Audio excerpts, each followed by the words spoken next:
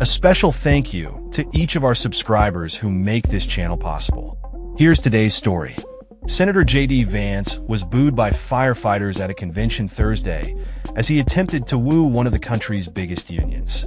Vance, whose address to the International Association of Firefighters, IAFF, in Boston was a late addition to the schedule following an appearance by his rival Tim Walz, told the first responders that they were the embodiment of the American spirit.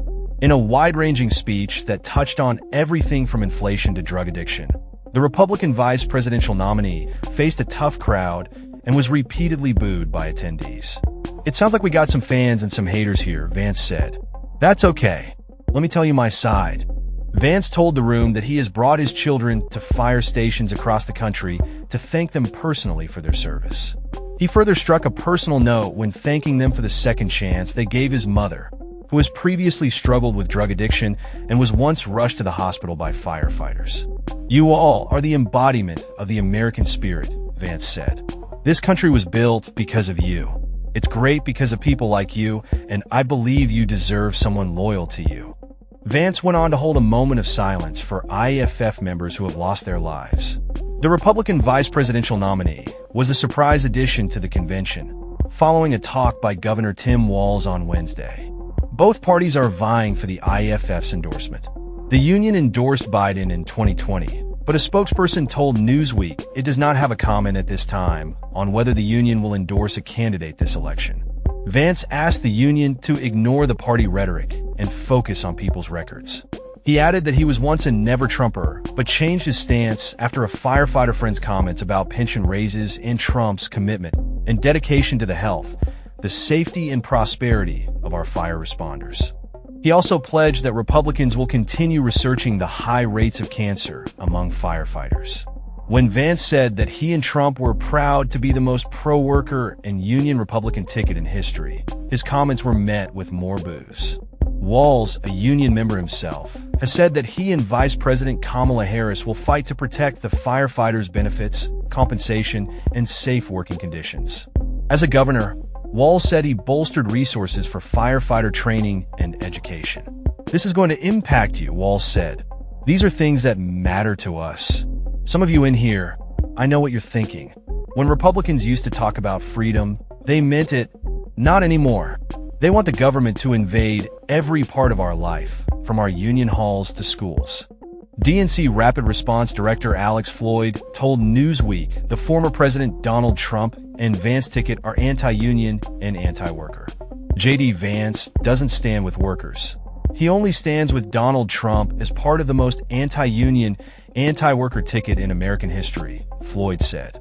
Trump is an anti-union scab who has broken promises to workers time and time again.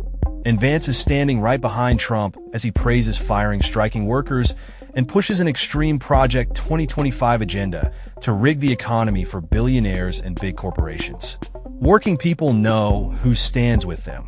Vice President Kamala Harris and former union member Governor Tim Walz. Stephen Stein, the president of the Columbus Firefighters IAFF Local 67, told Newsweek the IAFF leadership offered a talking opportunity to both parties' nominees.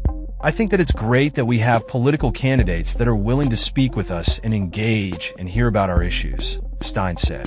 Demographically, the Republicans are obviously becoming more of a working class party. People who work in the trades, people who work in factories were maybe much more Democratic 40 years ago than they are today, Vance previously told Newsweek. So, it's not surprising that as the people who support Republicans are themselves members of, or at least adjacent to, organized labor that you're seeing more and more labor unions support Republicans, which I think is a virtuous cycle for our party.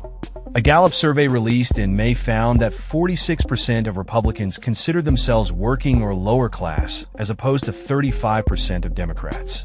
In contrast, 62% of Democrats considered themselves upper middle or middle class, compared to 53% of Republicans. Charles Huddleston, from Ohio, told Newsweek that IAFF workers like anyone that supports the union, regardless of political party. Florida Representative Carlos Gimenez, the only firefighter elected to Congress, introduced Vance. He said Harris has raised inflation and made the border a disaster. Just like how we respond to the bell when someone is in trouble, America is in trouble right now, Gimenez said. I'm excited to introduce a man who's dedicated to the interest of the people. Ed Kelly, IAFF General President, spoke about Gimenez. That's all for this story. We upload videos every day covering many different subjects, so hit that subscribe button to stay informed. Thanks for watching.